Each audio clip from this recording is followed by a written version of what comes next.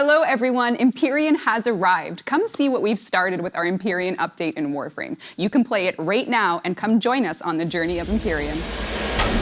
Before you take flight, you'll need to build your dry dock, rally your clan, contribute resources to its construction, and then you can set out on the Rising Tide quest to recover and restore all of the pieces needed for your Railjack, which will be your very own to customize and manage.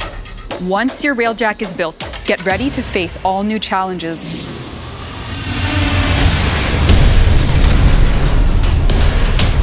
You'll need to work together like never before.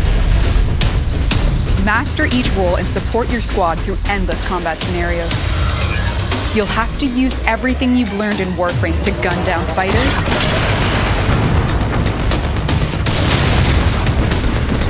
fight off boarding parties, hijack crewships, and more.